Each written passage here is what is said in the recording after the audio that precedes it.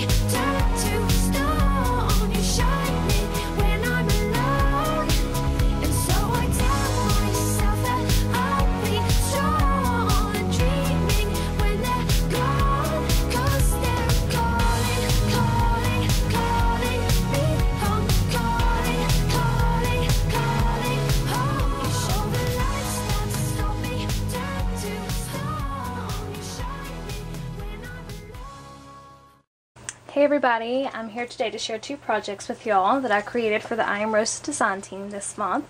And I created an altered cigar box and then another altered canvas.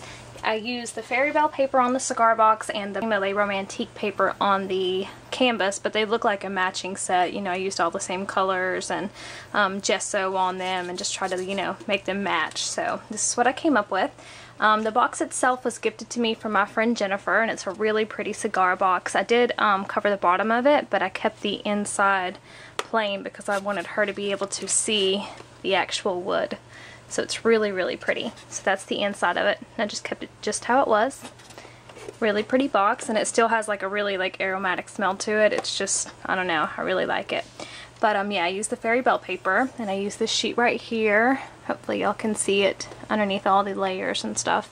But I just dressed up all the edges of it really well. And I put lace coming out from all the sides of it, all the way around. And then down here I just tore it back and kind of peeled it just to add some more dimension. I curled back this side and just kind of glued down that edge right there.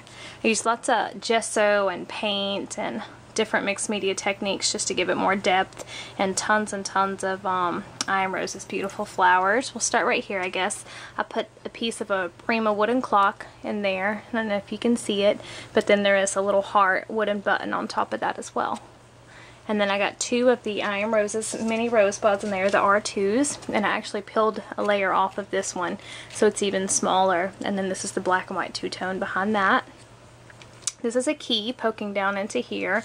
And it goes all the way up to right there. And I just went over it with blue paint to kind of tone it down and make it look more shabby. And then I got a button here really pretty button. And then over here I have a pen nib. This is an actual um, antique pen nib and it's super sharp. I really like it. My friend Kim sent me those. I got a little jewel poking out right there from a recollection spray and then over here, I've got some chicken wire coming out and some bling flourish, um, a little wooden button down in there from Prima. And then these are the beautiful, beautiful R40 flowers. And this is in the pink tone. Super pretty. I love these flowers so much. Um, and then back there we have one of the G2s. And I went over the top of it with blue um, paint just to give it a more shabby look. That's that part. And then I have another R3-15 right there. I love those little rosebuds. They're so pretty. And then another one right there in the black tone. And I did go over it with white paint just to kind of blend it in more. Um, I have the a little piece of a banner poking out down here. You can barely see, but it's really distressed. And this is a daisy, one of the white daisies from I Am Roses. And I will have a product description on my blog, and the link to that will be below, so you guys can go check it out. This is one of the Tim Holtz um, quote plaques. And it says, dream as if you will live forever. I really love that one. Really pretty. Um, I have another R3-15 over here. Some bling coming out. These are one of my favorite, favorite um, flowers from I Am Roses, and they are the R2 ones. Super pretty. That one's pink. You can see a little baby key poking out right up here, kind of blending in, but really pretty. Another piece of a banner coming out here as well. I did lots of layering, and then, you know, a lot of it got covered up, but did some stapling with my tiny attacher right there. This is one of the R77s and the white, one of the prettiest flowers ever. Really, really pretty. And I went over it with blue paint to kind of make it more shabby. And then up here you can see a little gear, little Tim Holtz gear, and this is a hot air balloon that I stamped and then fussy cut out. Um, here's another G2 that I dipped in my Lindy Stamp Gang color shot. It's kind of hard to pick up on camera, but it's really shimmery and really pretty. And this is another R3 in the black and white mixed tone. And then we have a Prima button in there, if you can see it. And then a little piece of a screw. Um, I can't remember the brand, but my friend Michelle sent me a bunch of these, and they're really, really pretty. So I have that there. I got some of that really pretty um, vintage trim coming out over here. Love this lace. And then another bling flourish. And then this piece right here I actually fussy cut from the Prima Pixie Glam paper line. And I just put um, texture paste all the way around the top of it.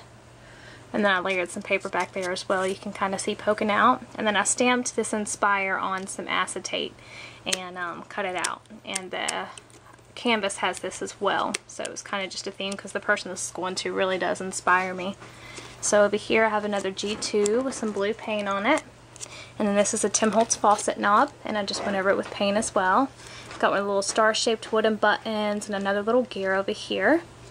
And then up here I put some more chicken wire because even though this is really shabby, you know, in one aspect, I really wanted to add some like grunge elements as well. So I put the chicken wire there. You can see the banner poking out on that side as well. And then I got one of the Tim Holtz memo clips. This is one of the S10 flowers, super cute and the pink tone. I think these are both um, R3s, and one's black, and then one's in the white tone. Really pretty flowers. And then this piece right here I fussy cut from another um, sheet of paper within the Fairy Belle collection. And I just added like bling and pearls and flowers and a little glass heart um, onto it and I popped it up so you can see it's pretty dimensional. And then also y'all there's a little light bulb tucked in. You can barely see it tucked in under those flowers in there. And then um, I took crochet thread and I just kind of started wrapping it and circling it and creating little hoops with it and gluing it down in certain places but still allowing it to move in others um, all the way in and out of these flowers between all the layers and everything just to give it like a soft shabby kind of whimsical effect and I really liked how that came out. So I just kind of weave that in and out of everything it's back behind there. So that's the top of the box and hopefully y'all saw the pictures at the beginning because my lighting in here is not that great. Along the base of it I did paint the entire thing this really pretty blue color and then all the way around I masked it with one of my um, Tattered Angels masks and I went around with black ink to do that. So that goes all the way around the box. And then I use this really small, tiny, delicate Venice trim. And then I put the Carla's um, Cynthia Lou Who Mesh Bling and I cut it into strips and put it all the way around as well. Just to give it like an icy, wintry look. So, and then for the feet, I use the Tim Holtz game tokens and I just place them there just to give it a little bit of height off of the table, but nothing too drastic. So that is the cigar box and now I'll show you the canvas. Um, I do have a video coming out on a smaller one of these. I've already filmed it. It's a small version of this, but the same principle as far as how you peel back the canvas and the paper. So that will be up soon on my channel, you guys, so you can check that out. Like I said, I use the Le Romantique paper on the inside of it, and then on the outside of it, I use the Tim Holtz um, tissue paper. I really, really love that stuff. I'm out. I got to go get some more because I'm obsessed with it. It's so, so, so pretty. So I adhered the Tim Holtz tissue tape down to the canvas first. And then I went over with gesso and pink paint. It's kind of hard to show up on the inside all the different colors but hopefully the pictures will give you a better idea but you can see you know the different colors coming out right there and then I inked up all the edges with black soot so then on the inside of it I adhered this the pearl paper from the Le Romantique so when I cut it out, this is what was showing. And I went over all of that with texture paste and blue paint. So it's really dimensional, a lot of texture going on. I really like how it came out. And then here as well, I added lots of the texture paste. And what I did was just added the blue paint into it and mixed it up. So that way it wasn't just white. So I did that. The background is corrugated cardboard that I went over with pink and white paint. And then I sprayed it with my Black Orchid Silver um, Lindy Stamp Gang. It's one of my favorite colors. And it's really shimmery. I don't know if it'll show up on camera, but really pretty. And I used this sheet from the Le Romantique paper and I just adhered it randomly distressed up the edges and then peeled it back in some places and have some vintage eyelet trim coming out. So that's there, and then this piece over here, same thing, and then this one back here in the background as well. And then you can see a little piece over there. A lot of it got covered up, but it's in there. I used the Tim Holtz hanging sign die and I cut it out of black chipboard and then the paper as well. And I put some butterflies that I fussy cut from the paper line on it. And then I just put the same Inspire that I cut out of, um, I stamped and then cut out of acetate on there. I put some beautiful I Am Roses flowers over here. These are the R3s and then these are the R2 ones. And then these are the tea tiny little rosebuds. They are the R2s. And I attached some jump rings onto it and put the Melissa Frances wings that I kind of grunged up a little bit. Added some rub and buff too. So those are there. And it does move, so I really like that. So that is the inside of it. Um, the outside over here, I used that Recollections window um, resin piece and I just grunged it up and put rub and buff on it to kind of, you know, give it some more character. I've got some of the little daisies poking out from behind there, another butterfly that I fussy cut out, lots and lots of I Am Roses flowers. Um, these are both G2s.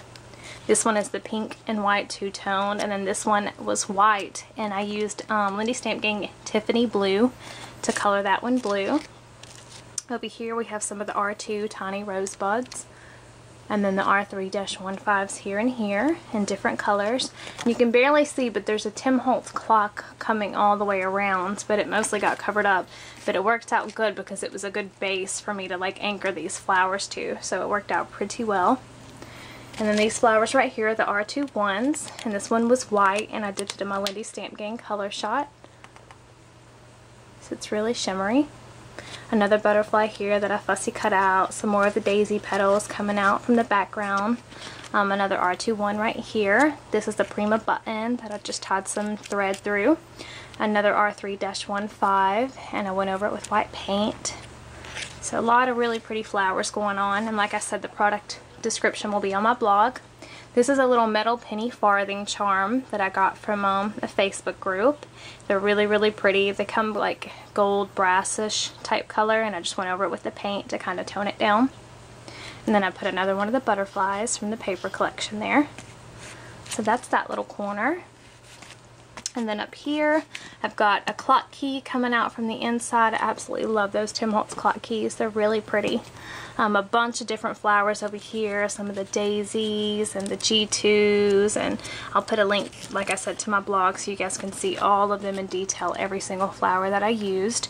This is a Graphic 45 stamp, and I stamped her on acetate and then cut her out, so she's just up there. You can barely catch her unless you're looking at this corner um, another Prima clock piece right here and then another one of the butterflies I fussy cut from the paper collection.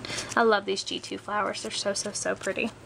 And then I have another one of the R2 ones in here in the pink tone. And then this is a little Melissa Frances frame. And I just stamped play, and that's a Prima stamp, onto some of the paper and put it in there. So it's just really dimensional coming down into the um, canvas itself. So and like I said, I love the movement of the hanging sign. That is my canvas shawl. Lots of texture going on and I hope y'all like it. And I hope the lady I made this for likes it. And thanks for watching y'all. Bye.